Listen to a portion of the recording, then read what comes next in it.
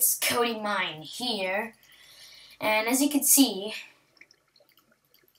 um, yeah, yeah, as you can see, I'm in my video world with all my decorative heads over there, including myself, like all over there. Anyways, today I'll be doing something a bit different, and I will be showing you guys how to make a double barrel TNT cannon. Um, yeah. Okay, I'll just show you. Whoops, that wasn't supposed to happen. No one saw that. Okay. Okay, I'll show you how this will work. I mean, I'll prove it to you that it will work.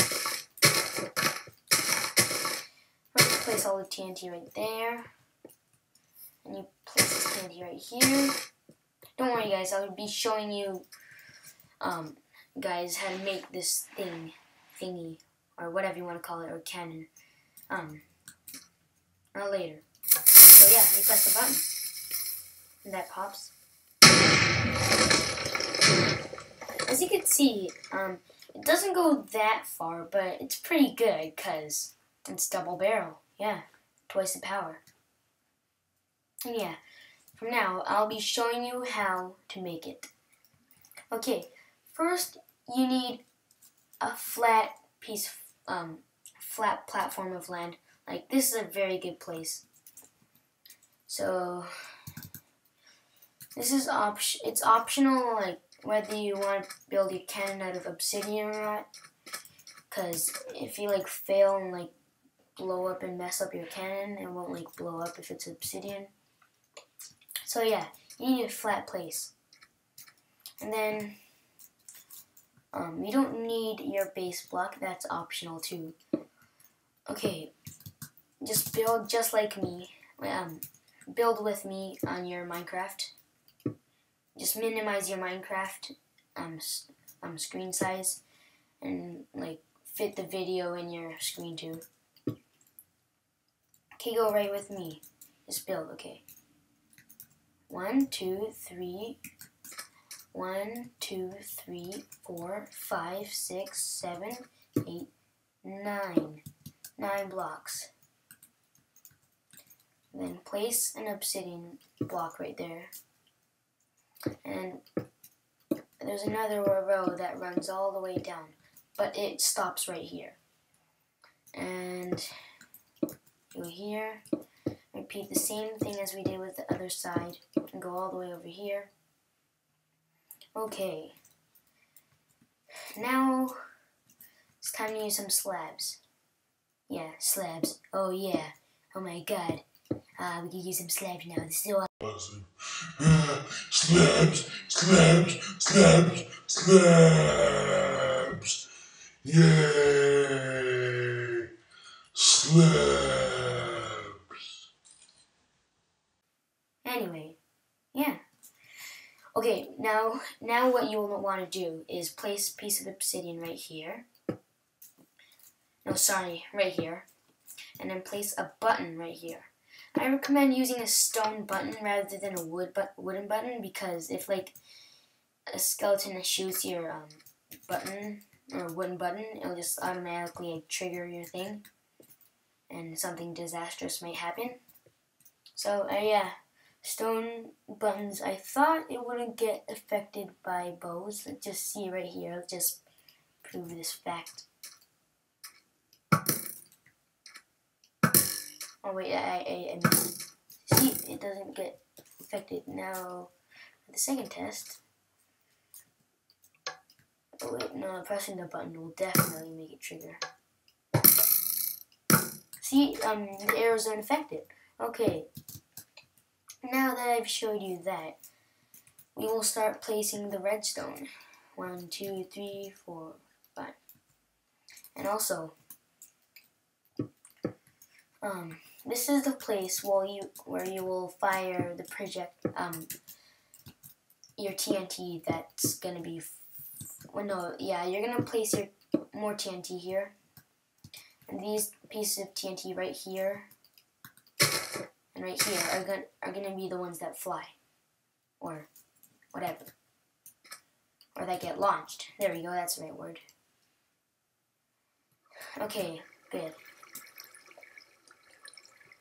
Um, actually, I think we can make this cannon a bit more powerful by making it longer. That's what she said, but, um, yeah, okay. I just, okay. I thought water flows only nine blocks, but then I guess it flows more because, yeah, because, yeah, look at that depth. It should flow like one more block. Anyways, so next step is that we place even more redstone. So we go over here, here, here, there. Start placing one, two, three, four, and five redstone repeaters. And set them all on, um, wait, how many ticks is that? One, two, three, four ticks. One, two, three. No! I was wrong. No, that, okay, wait. No, that's the first tick. So one, two, three, four. So yeah, four ticks. You place that redstone right here so it connects to that TNT right over there. What you want to do next is repeat that same step on the other side. One, two, three, four.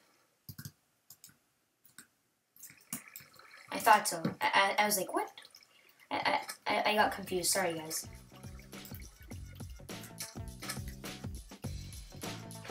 Actually, I kind of recommend putting the last repeater on the second tick.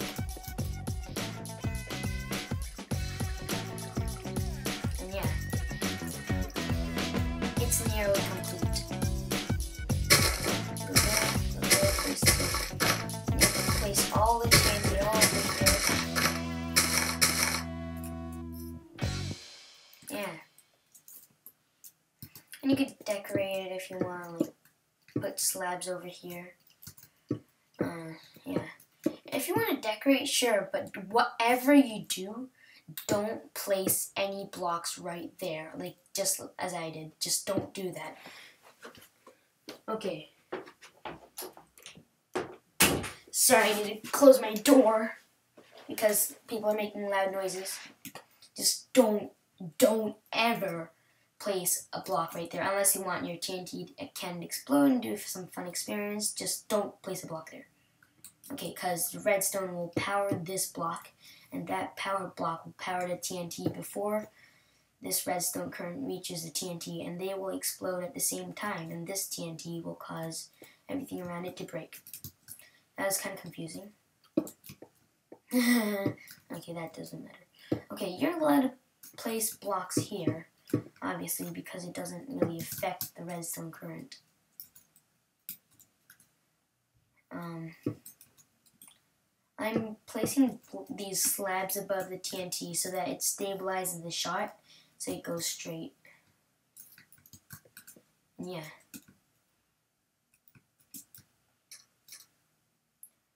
Oh wait, I should, yeah, just place these Okay, you don't have, it's that part is optional. Okay, yeah, we're basically done then. Test fire.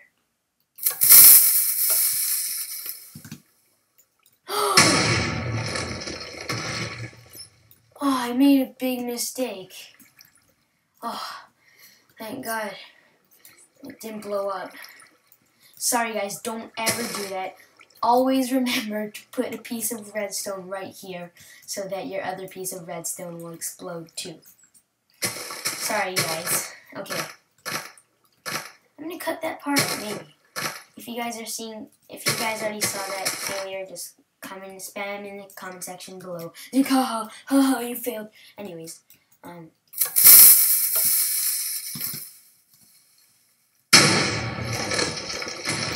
See, there you go double barrel red TNT cannon. I almost said redstone.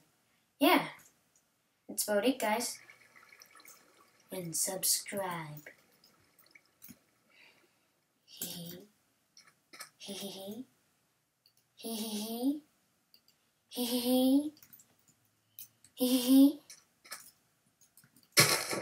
Subscribe and like for baking!